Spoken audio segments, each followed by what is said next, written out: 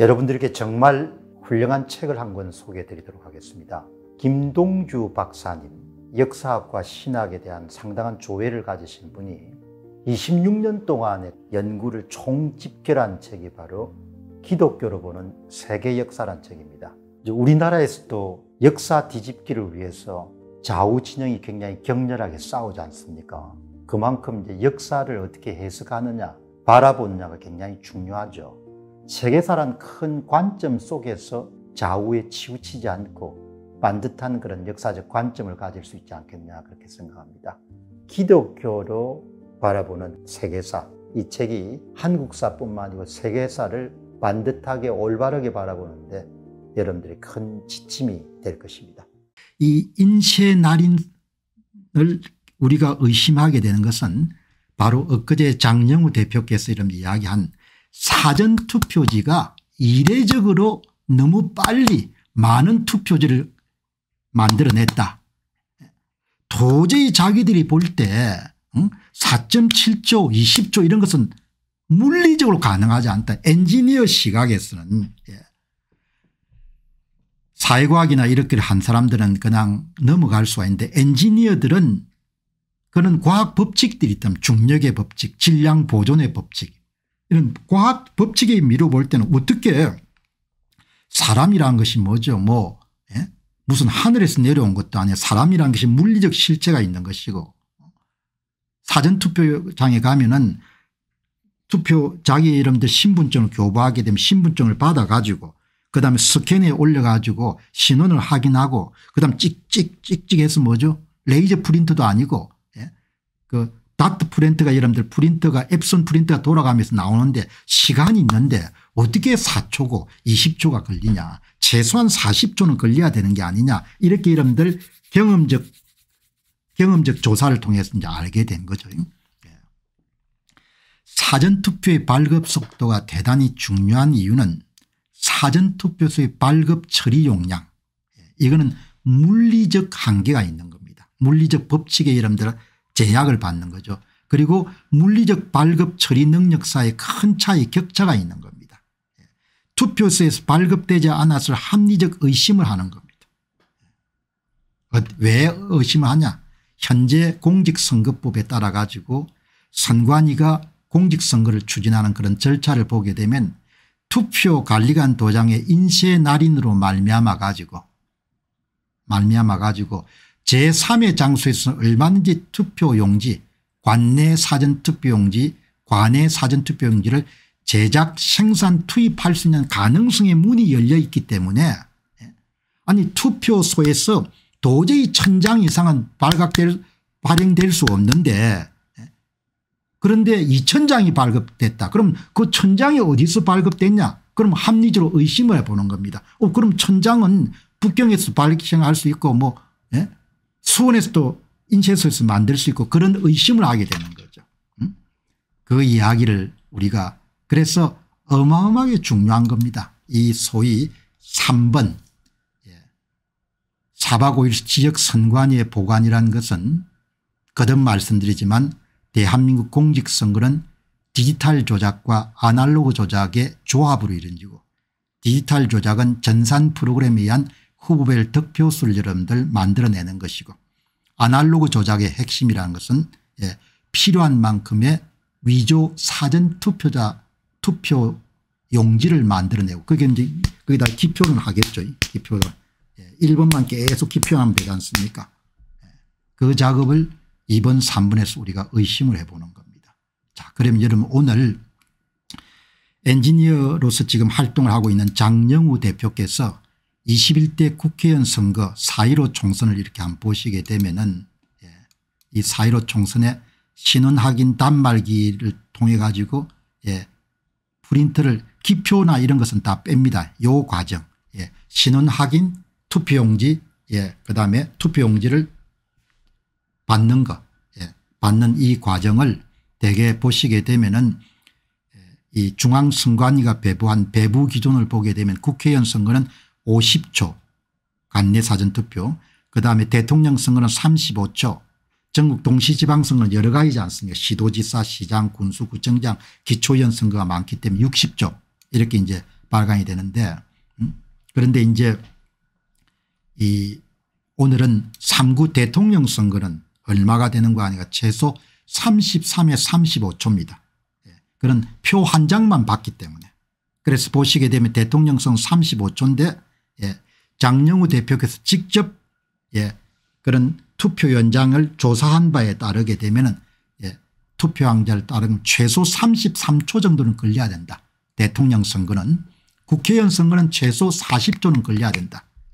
33초입니다. 33초. 예. 그러니까 이거하고 비교해 보게 되면 33초니까 얼추 비슷하죠. 예. 가이드라인하고 예. 중앙선관위가 여러분들 제시한 배부 기준 국회의원 선거는 50조인데 이제 40조. 예. 그러니까 과한 이유가 아닌 거죠. 여기에 위반되는 여러분들 선거구가 굉장히 많이 나온 겁니다. 예. 지금 여러분들에게 공개해 드리는 것은 최소치입니다. 왜 세조증거 하니까 사람이 막 몰리면 은 관내 사전투표에 사람이 몰리게 되면 관내 사전투표 기계를 또 관내 이름들 전용회가 사용할 수 있다고 합니다. 그러니까 지금 이야기하는 것은 야 이상하다 이건 최소치입니다. 그 내용을 여러분 보시게 되면 여기가 모두 다 예, 관내 사전투표용지 발급 비정상적인 투표소 해당 발급 속도 33초 미만 3구 대통령 선거입니다. 대구 북구 24조 5조 예, 2일차 이 광산구가 광산구가 광주 광역시일 건데 예, 광산구 신가동 사전투표소 24.9조 양주시 25.2조 이 이야기는 여러분 거듭 말씀드리지만 물리적으로 처리할 수 있는 사전투표에서 물리적으로 처리할 수 있는 범위를 훨씬 넘어서는 발급이 나왔다는 이야기 그 이야기는 뭔가 하니까 제3의 장소에서 일부가 투입될 가능성이 높다는 것을 이야기하는 겁니다. 예. 합리적 의심을 하는 겁니다. 이게 60개소입니다. 60개소. 예. 인당 33초 미만의 발급 효율을 자랑하는 사전투표소가 60개입니다. 1일차 예. 2일차로 나눠 가지고 1인 발급 시간을 여러분이 공개를 했습니다. 그 다음 여러분 보시게 되면 또 여러분들 이게 보시게 되면 대구 북구 광산구 그 다음에 여러분들 강동구 60 66개 60 예, 60개 예, 60개소가 여기 이름 다 공개가 된 겁니다. 여수시 주삼동 사전투표소 예, 첫날은 31.3초 그다음 32.1초 예, 그다음 이 보시게 되면은 예, 이걸 다 이름 전수조사를 한 겁니다. 정보 공개 청구를 요구해 가지고 예, 여기 보시면 강동구 영일 제1동 사전투표에서 28.7조 여러분 28.7조가 나왔다는 이야기는 다르게 이야기하게 되면 예. 강동구 영일 제1동의 사전투표소에서 캐파 예. 캐파를 훨씬 넘어서는 사전투표 용지가 발급이 된 겁니다. 그 이야기는 달리 이야기하게 되면 일부가 외부에서 여러분들 만들어서 투입될 가능성을 시사하는 거예요. 이게 여러분들 3구 대통령 선거입니다. 근데 어제 말씀드렸다시피 4.15 총선도 한 번 더 보죠. 어제 공개가 있는데 4.15 총선 최소 40조가 필요합니다. 40조 39.6초인데 40조 정도가 필요한데 이 보시게 되면은 여기에 시간대별로 이렇게 이례적인 현상이 나옵니다. 대전 서구 도마 일동에 2일차에 5시, 4시부터 5시 사이에 21.3초 이걸 다 조사를 한 겁니다. 예. 이게 엔지니어들이 갖고 있는 여기 집요함인 겁니다. 이걸 엑셀 파일 여러분들 전국에 몇 천 개를 모든 선거를 다 조사한 겁니다. 2022년 3구 대통령 선거 2022년 6월 1일 지방선거 그런데 놀랍게도 2022년 6월 1일 전국 동시 지방선거 상당히 뭡니까 거의 없다시피 한 겁니다. 이렇게 초고속 발급 사례가 없다는 겁니다. 그 이야기는 뭔가 하니까 그만큼 지방선거는 거의 손을 안 댔거든요. 이 내용을 여러분 보시게 되면은 여기 보시게 되면은 제21대 국회의원 선거 최상급 발급 속도 사전투표 세상 거듭 말씀드린 최상급 발급 속도란 것은 그 사전투표소의 발급 캐파를 넘어서는 관내 사전투표용지가 발급됐다는 겁니다. 그것은 다르게 이야기하면 제3의 장소에서 일부가 제조 생산에서 투입됐을 가능성을 이야기하는 겁니다. 33초 30 여러분들 40초가 어, 걸려야 되는데 아 이게 40초죠. 예. 4.15 총선 40초가 걸려야 되는데 26.8초가 걸렸다는 이야기는 얼추 절반 정도가 제3의 장소에서 여러분들 나왔을 가능성을 이야기하는 겁니다. 예. 이렇게 국회의원 선거가 다 나오는. 예를 들면 여러분 한 번 더 확인하고 다음 주제로 넘어가도록 하겠습니다. 예. 발급 속도를 구했는데 20초가 나왔다.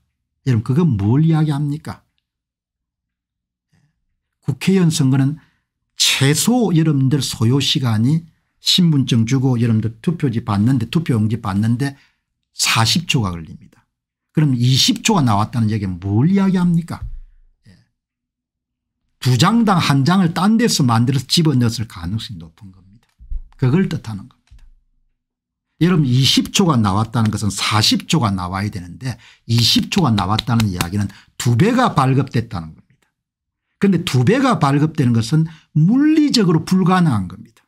촉진법을 쓰면 촉진법을 쓰면 될수 있을지 모르면 그게 불가능합니다. 그러면 예 50%는 딴 데서 만들어서 투입했을 가능 언제 4박 5일 사이에 언제 4박 5일 사이에 예, 여기 4박 5일 사이에 투입됐을 가능성이 높은 겁니다. 어제 말씀드렸다시피 2023년도 10월 11일 강수구청장 보궐선거에서는 저희들이 이제 정밀 조사를 해보니까 이번 사전투표 실시가 될 때 전산 프로그램을 어떤 식으로 가동했는가 하니까 두 장당 한 장이 뭐죠 더블당 함께 들어가도록 만든 겁니다. 가짜 가짜 진짜 아 진짜 진짜 가짜 그러니까 첫 번째 투표자가 와가지고 투표하고 두 번째 투표자가 투표했는데 세 번째 표를 집어넣는 겁니다. 가짜 가짜 진짜 가짜 가짜 진짜 가짜 가짜 진짜인 겁니다. 가짜 가짜 진짜 가짜 가짜 진짜 예. 그렇게 이런 표를 조작을 한 겁니다. 그럼 그 진짜 표는 어디서 투입됐냐 이야기 어디서 투입됐는지는 이야기를 할 수 없다.